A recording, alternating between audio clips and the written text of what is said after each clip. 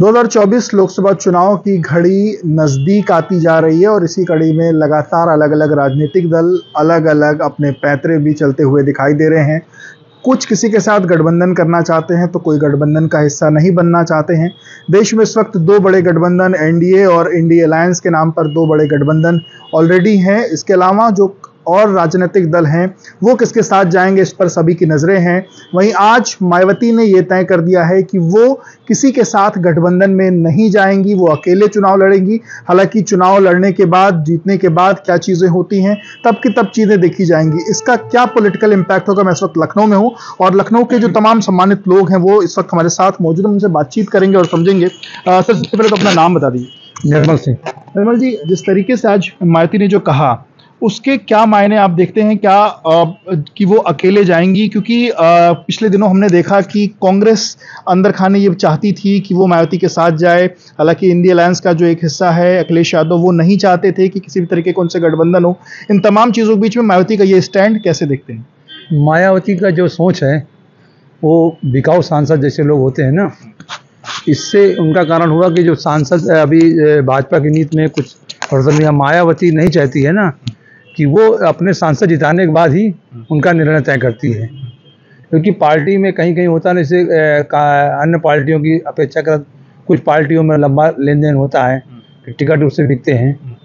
तो मायावती का सिंबल ये है कि हम पहले जीत लें, इसके बाद कोई सरकार बनती उसमें हमारा रोल बनाना मायावती की दबाव की राजनीति करती है।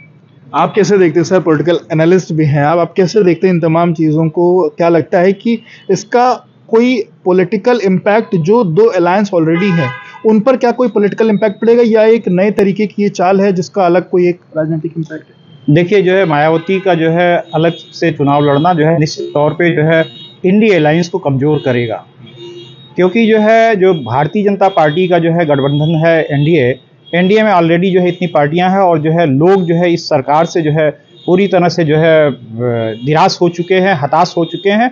और सब जो है विपक्षी नेताओं के जो है दल जो भी हैं तृणमूल कांग्रेस हो गए आपके आरजेडी हो गए जदयू हो गए आपके जो है समाजवादी पार्टी हो गए कांग्रेस हो गए ये जो इंडिया अलायंस का है तो जो है निश्चित तौर पे जो है जो दलितों का वोट है वो अकेले मायावती के पास जो है लगभग जो दलितों में खास तौर पे उनकी बिरादरी के लोगों का जो है उनके पास वोट बैंक जो कैडर वोट है वो मिल रह जाएगा लेकिन जो है बहुत से जो है ऐसी जो है हैं जो दलित हैं वो जो है उनका उनके वोटों का बिखराव हो चुका है और जो है उसको साधने में बड़ा दिक्कत होगी मुझे लगता है कि जो है अगर मायावती जी जो है साथ में जो है उन्होंने कह दिया एक बार अपने जो है विचार को जो है रिवाइव कर लें अगर वो जो है इंडिया एयरलाइंस के साथ आती हैं तो निश्चित तौर पे जो है एक बढ़त के साथ जो है एक फैसला उतना ठीक नहीं है फैसला उतना सही नहीं है और एक चीज़ और बता दें कि जो है मायावती अगर जो है अकेले दम पे लड़ेंगी निश्चित तौर पे वो सभी पार्टियों के जो है जीतते हुए कैंडिडेटों को हराएँगी।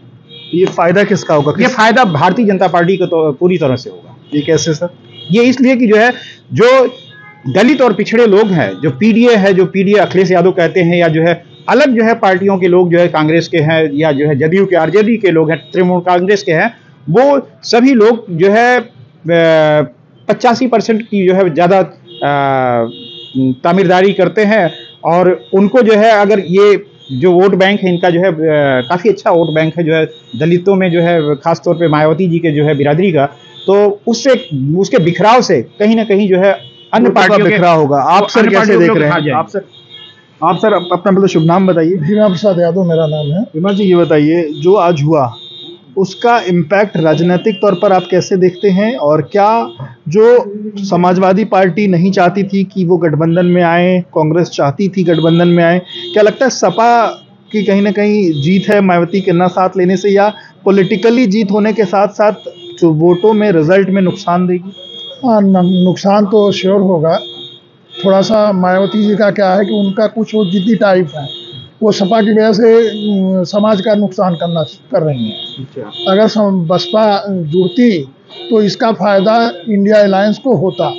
और वो श्योर था और इंडिया अलायंस को फ़ायदा होता तो वह खुद के मायावती जी के समाज के लिए फ़ायदेमंद होता।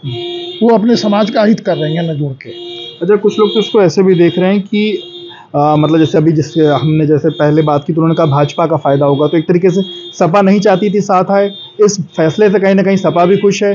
भाजपा चाहती है कि वो अलग अलग अलग लड़ें क्योंकि जो परसेप्शन 2022 के चुनाव में बना कि जहाँ जहाँ पे समाजवादी पार्टी की हार हुई वहाँ पे ये बसपा कैंडिडेट बहुत अच्छा लड़ा। तो एक तरीके से सपा की भी सपा भी आज की तारीख में खुश है भाजपा भी आज की आज, आज की तारीख में खुश है पर लोकसभा चुनाव पर जो रिज़ल्ट आएगा उसमें किसका फ़ायदा होगा आप कैसे देखते उसमें भाजपा का फ़ायदा होगा क्योंकि अगर सपा और बसपा एक साथ जुड़ती तो एक बहुत बड़ा अलायंस बनता जिसकी वजह से जो है ज़्यादा नहीं तो पचास सीटें पे असर इसका पड़ता। अच्छा। कि बीजेपी इंडिया अलायंस की पचास सीटें यूपी में से निकलती। और इसकी वजह से जो है बहुत कम बसपा तो बिल्कुल ज़ीरो पे होगी क्योंकि उसके पास और कोई वोट नहीं है। पर वो कह रही उन्होंने जब जब गठबंधन किया तब तब उनको नुकसान हुआ और लगातार उनका वोट लोगों को ट्रांसफ़र हो जाता है और जो गठबंधन के दल हैं गठबंधन के दलों का वोट बसपा को ट्रांसफ़र तो आप, आप लगता है ये अभी 2019 में आपने देखा कि जो सपा बसपा का गठबंधन था उसकी वजह से सपा को फ़ायदा नहीं हुआ उसका फ़ायदा बसपा को हुआ था। और वह फ़ायदा उस फ़ायदे तक नहीं पहुँच पाया जो होना चाहिए था। इन लोगों की अपनी एक नाकामी का लीजिए कि ये लोग जो है घर बैठ गए थे कि नहीं हम तो जीत रहे हैं। तो वो समाज का नुकसान करते ये लोग एक साथ न आकर के हमेशा अपने समाज का नुकसान कर रहे हैं। और उससे जो है देश का नुकसान हो रहा है। पर अखिलेश भी तो नहीं चाहते थे मायावती साथ है। अखिलेश अखिलेश जी हो सकता है ये अपनी अपनी पॉलिटिक्स का एक अलग तरीका होता है। एक प्रेशर पॉलिटिक्स चल रही है जो आज की डेट में। वो भी रही हो अखिलेश जी की। आप सर आपका शुभ नाम? अरविंद कुमार नाम है मेरा। अरविंद जी जो जो सब कुछ हुआ आप तमाम चीज़ें सुन भी रहे हैं। कैसे देखते हैं? पहली आपकी प्रक्रिया एक आम आम नागरिक के हिसाब से क्या देखता है 2024 के चुनाव के इम्पैक्ट में आज का? फैसला 2024 के इम्पैक्ट में अगर मायावती जी की स्वतः चुनाव लड़ती हैं अकेले होकर के तो इसमें भाजपा का नुकसान होगा। क्योंकि 18 परसेंट जो दलित वोट है मायावती का एक मुश्त वो लोकसभा चुनाव में कहीं ना कहीं फ्लोटिंग वोट के रूप में काम करता है। अगर मायावती जी किसी और के साथ रहती हैं तो। और अगर मायावती जी अकेले चुनाव लड़ेंगी तो इससे भाजपा का नुकसान होगा। यानी कि जो हम लोग पिछले दिनों या पिछले चुनाव में जिस बात की बात कही जा रही थी कि एक जो लाभार्थी वर्ग है वो जो भाजपा की तरफ़ आए मायावती अकेले लड़ेंगी तो वो मायावती की तरफ़ रहेगा? यस अगर मायावती जी अकेले लड़ेंगी तो ये 18 से 22 परसेंट दलित वोट एक मुश्त मायावती जी के पास जाएगा।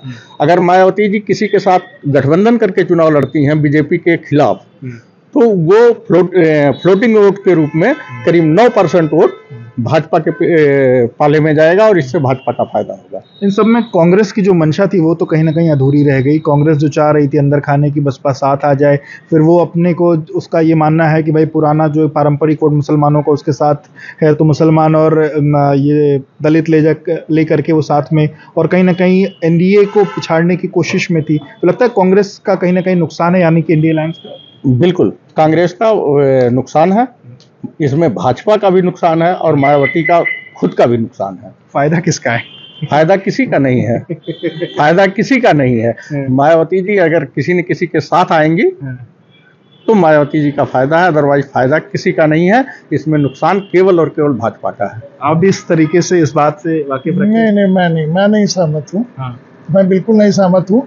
सपा बसपा के साथ आने आने जब जब एक साथ आए हैं तो फ़ायदा इनका हुआ सपा बसपा का हुआ भाजपा का नुकसान हुआ है। और अगर एक साथ रहे होते तो श्योर उत्तर प्रदेश में समीकरण कुछ लोकसभा का अलग होगा। तो बिल्कुल देखिए ये लखनऊ के लोग हैं जिन्होंने अभी आप जिनको आपने सुना और उनका अलग अलग तरीके का मत है। कुछ का ये मानना है कि इस गठबंधन से कांग्रेस पार्टी को इस गठबंधन ना करने से कांग्रेस पार्टी को एक तरफ़ नुकसान हुआ है, वहीं कुछ का ये मानना है कि अब वोटों का बिखराव, जो दलित वोटों का बिखराव, वो नहीं हो पाएगा और पूरा वोट जब बसपा में जाएगा तो भाजपा को नुकसान होगा। तो वहीं कुछ लोग पूरे तौर पर इंडिया अलायंस को भी नुकसान उस पर मान रहे हैं। अब देखना होगा बाकी चीज़ें तो नतीजों के बाद निकल के सामने आएँगी। विवेक राय वीपी लाइव के लिए। एबीपी गंगा खबर आपकी जुबा आपकी।